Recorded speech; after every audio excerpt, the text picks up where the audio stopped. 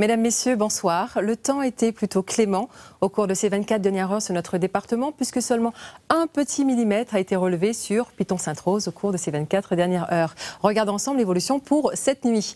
Nous sommes dans un flux de secteur est-sud-est où l'Alizé se maintient sur notre île, mais l'atmosphère reste tout de même sèche tout autour de chez nous, mais nous ne serons pas à l'abri de quelques entrées maritimes sur le flanc est de notre île, tandis que partout ailleurs, le ciel restera bien dégagé.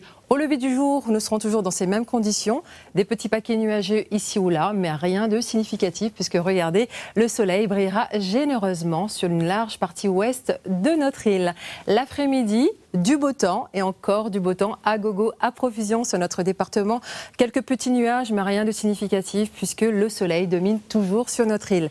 La mer, quant à elle, reste agitée au déferlement de deux petites houles, une de secteur sud-ouest et une houle d'Alizé de secteur est.